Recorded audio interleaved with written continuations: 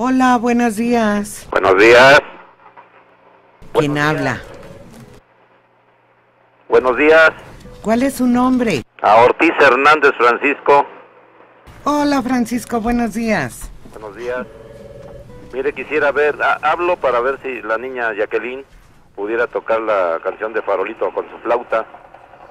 Pues vamos a preguntarle a ver si, si se la sabe y a ver si quiere. Bueno, No me escucha. no, no se oye, se oye bien lejos. Yo sí le escucho, pero se oye bien quedito. Bueno, le preguntamos a Jacqueline, Francisco. Eh, no está el señor, ¿verdad? Está de descanso. Así es. Este, que se la pasen bien y un saludo a todos, a, a la niña Esmeralda también, a la niña Gotita y a la que acaba de llegar de vacaciones. Esta, ¿cómo se llama? La que le dicen la flaquita. Ah, ya, la, ya oyó su saludo. Muchas gracias. Toda la mesa y también a la chica electrónica y a todos. Que estén bien, adiós y gracias, ¿eh? Adiós, Francisco. gracias. Que si quieres, Que si quiero. si Si quieres, Sí, sí quiero, sí quiero. pues ándale pues, te escuchamos.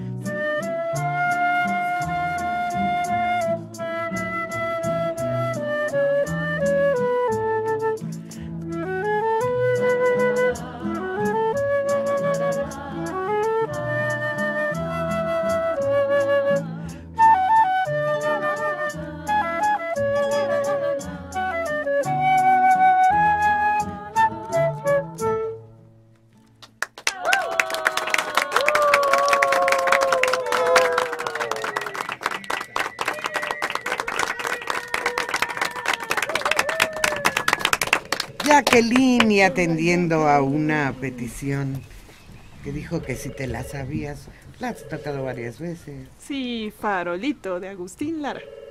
Y suena muy bonito. Mm, Como un farolito en plena oscuridad. Sí, sí, sí.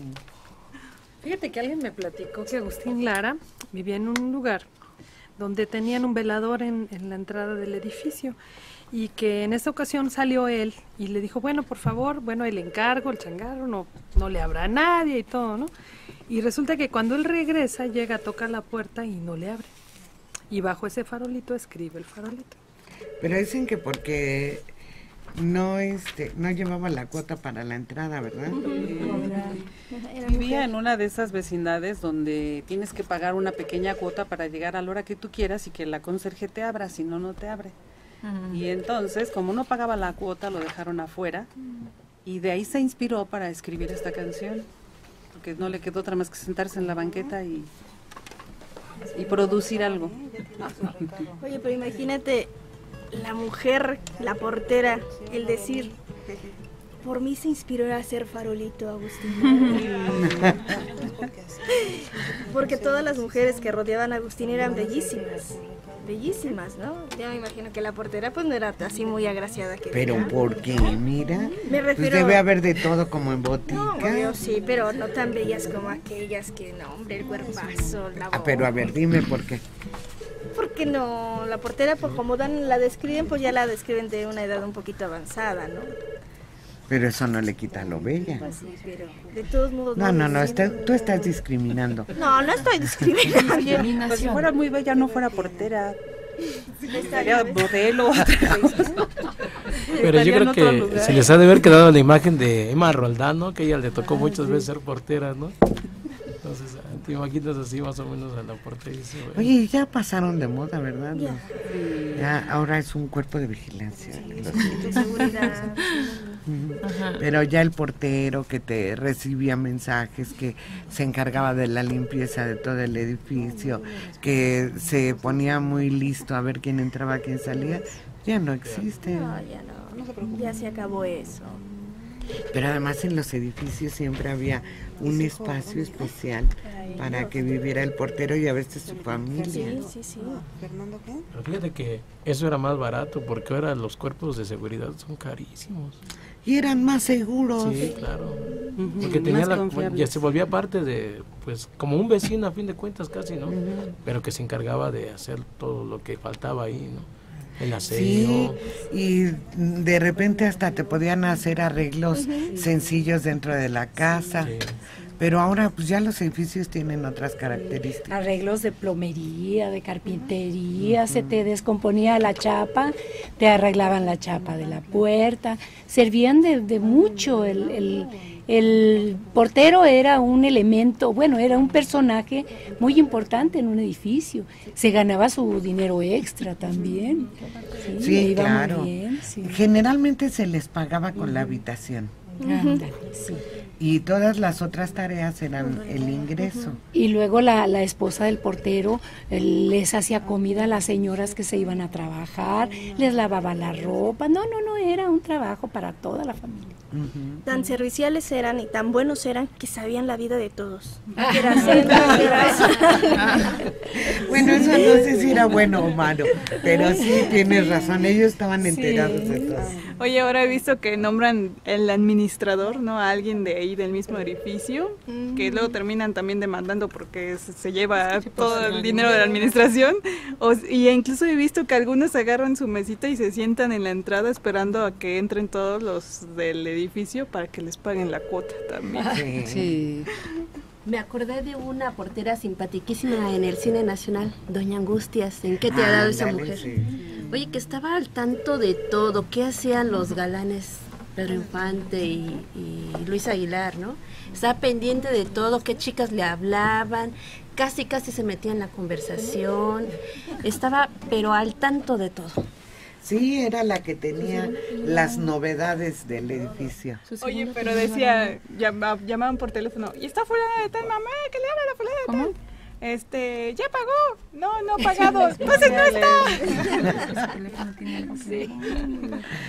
No, sí, tenían una función muy específica y realmente se convertían en, en alguien indispensable por todo lo que hacían. Pero ahora los modernos edificios ya no tienen ni siquiera el espacio para que ellos puedan vivir con cierta comodidad, porque regularmente era un espacio pequeño, pero con su baño y su cocinita. Sí. Sí. Aunque muy grande la familia, pero siempre junta, ¿no? Sí. Siempre. Pues ya todo eso pasó a la historia.